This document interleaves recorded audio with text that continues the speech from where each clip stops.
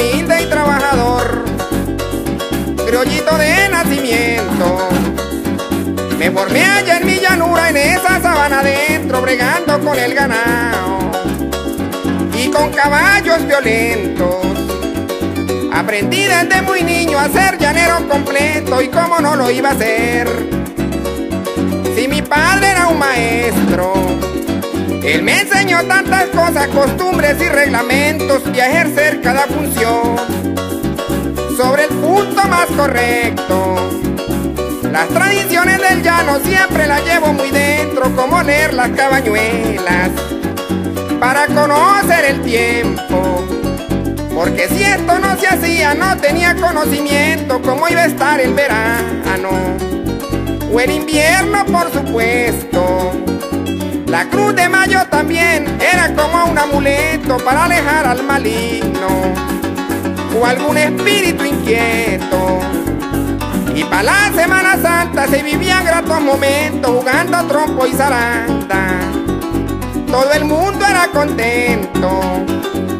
Saludar nuestros padres se hacía con mucho respeto, con una rodilla en tierra, demostrando un gran afecto. Cuando nos daban consejos, teníamos que estar atentos. Si alguno se enfermaba, saber trucos y secretos, con los remedios caseros, si no había medicamentos. Los conjuros y oraciones eran un gran complemento, para matarle los gusanos a un becerro a campo abierto. Estas son reglas del llano, lo digo con argumento. Yo sé picar una soga, también hilar un cabresto, arpa cantando me han visto echando los restos. Quiero que sepan, señores, que lo que digo no es cuento, porque esto me lo enseñó mi padre, aunque ya está muerto. Por él pido una plegaria que en paz descansen sus restos.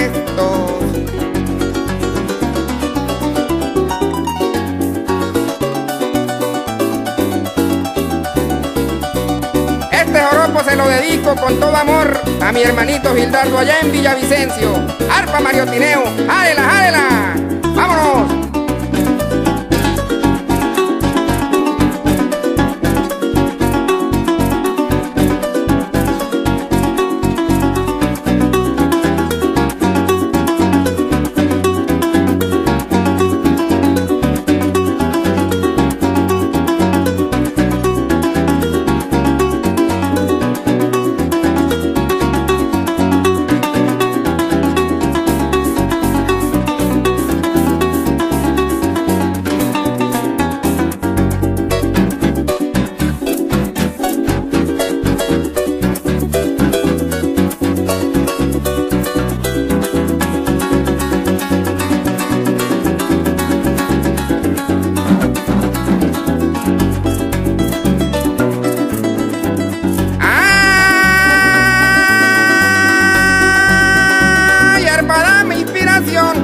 Que tengo talento para cantarle a mi llanura, con amor y sentimiento. Porque allí tengo impregnado todo el valor por lo nuestro, yo no me creo un llanerazo, pero lo vivo y lo siento. Si aquí en mi venas perdura sangre por nuestros ancestros, por ello soy lo que soy, un hombre de fundamento. Un luchador incansable por varios departamentos defendiendo la cultura como un agradecimiento. Y a los que han ido dejando el folclore en movimiento, aunque esta es una tarea con penas y sufrimiento.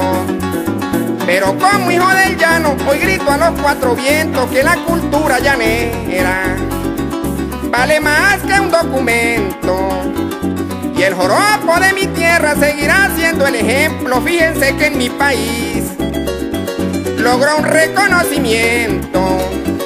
Pero no hasta no verlo en el centro, pero en el centro del mundo, anclado como un monumento. Ojalá todos los criollos nos mantengamos despiertos para dejar nuestro joropo sonando en el firmamento, en la voz de otros artistas que lo hagan con buen acento y así se logre escuchar por allá hasta en los desiertos. Él ya no me vio crecer, Dios me dio el entendimiento y el don para componer versos con el pensamiento. Puente arimena de mi alma, soy tu hijo y te lo agradezco. Para todos los llaneros traigo este joropo fresco Un saludo para todos, me perdonan el dialecto. Un llanero como yo, también tengo mis defectos. Porque como ser humano, no soy un hombre perfecto. Gracias Padre Celestial por darme vida y talento. Y una promesa para que aquí le doy cumplimiento.